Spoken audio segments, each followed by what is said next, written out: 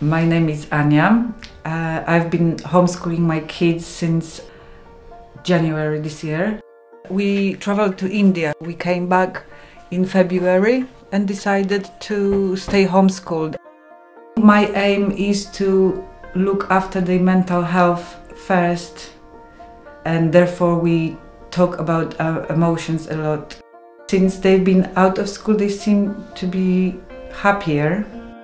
So the Van Gogh Annika made at um, her art class. It's a free space, so kids, whenever you know, sometimes nine in the evening they come and they start creating.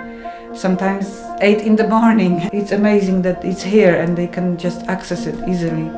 Looking at my kids and he seeing how happy they are, you know, for me, that mental health is the most important thing. You know, if they're happy and thriving in this area, then that's the most important.